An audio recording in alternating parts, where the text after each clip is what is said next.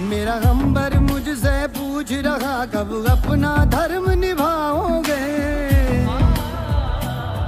मैंने वचन दिया, भारत माँ को तेरा शीश नहीं झुकने